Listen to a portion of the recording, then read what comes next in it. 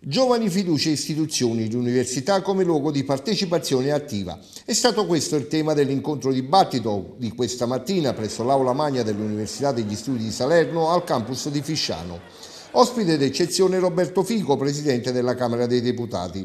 L'evento, che ha visto i saluti del rettore dell'Ateneo Salernitano, Aurelio Tommasetti, è stato introdotto dal deputato del Movimento 5 Stelle Luigi Iovino. La partecipazione dei giovani alla vita politica del Paese, ha detto Iovino, è fondamentale per radicare nelle generazioni future lo spirito di comunità, unione e appartenenza.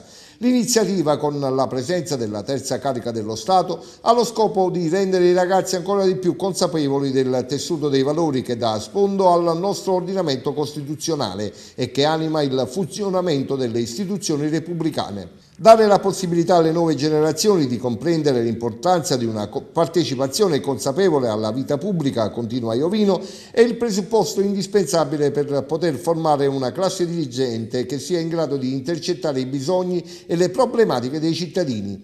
In questa ottica l'università è da sempre osservatorio privilegiato per intuire l'avvenire del nostro Paese al di là di avvicinare i ragazzi al mondo della politica, l'importante è che i ragazzi abbiano cognizione di causa eh, che tutte le azioni che compiono eh, significa fare politica. La politica significa scegliere, significa scegliere come eh, spostarsi, significa scegliere eh, che tipo di università volere costruire, significa dibattere la società. Quindi non è tanto un avvicinamento al mondo politico, ma comprendere che la politica è un un qualcosa che interessa a tutti perché eh, influisce sulle vite poi di tutti quanti ed è bene partecipare. Le università sono dei luoghi centrali, sono mm, il, il giusto percorso eh, dopo una scuola che sia altamente formativa e che dia la cultura a tutti i nostri ragazzi e poi si arriva all'università che devono essere luoghi pubblici, luoghi indipendenti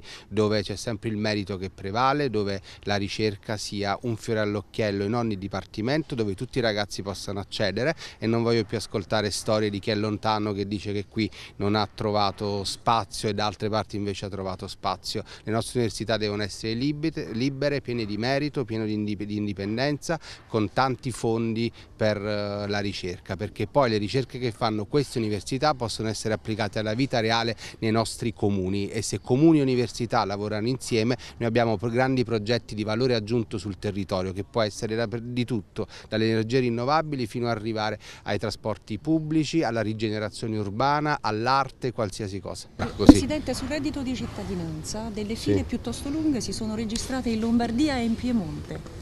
Come? Come vede non si deve dare mai niente per scontato.